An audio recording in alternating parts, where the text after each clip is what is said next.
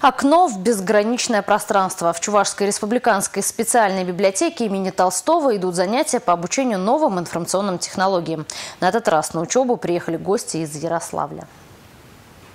Вот у меня тысяча рублей. Я нажимаю, подношу, и он мне должен ответить. Одна тысяча рублей.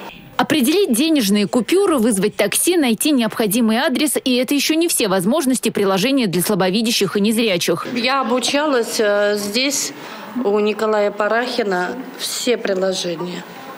Э, Получила сертификат, то, что я прошла обучение. И пользуюсь, играю. Э, Определять купюры, у меня специальное приложение есть.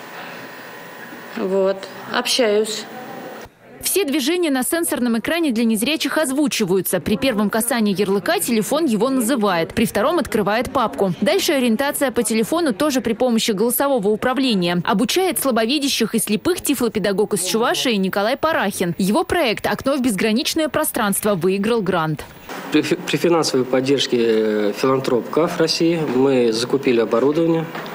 А, Это два, два извините, это два устройства смартфона под управлением операционной системы Android Samsung Galaxy A5 2017 года и два айфона под управлением операционной системы iOS.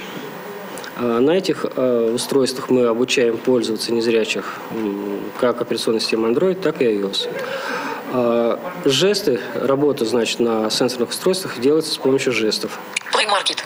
То есть мы смахиваем слева направо и движемся по ярлычкам, расположенных на рабочих столе. Музыка.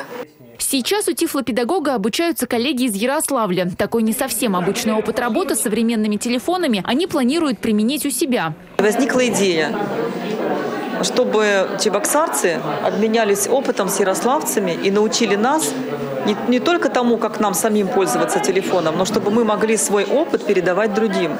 Потому что мало уметь самим, очень важно уметь научить этому других. А других учить сложно, потому что пока еще нет ни системы преподавания, ни методик.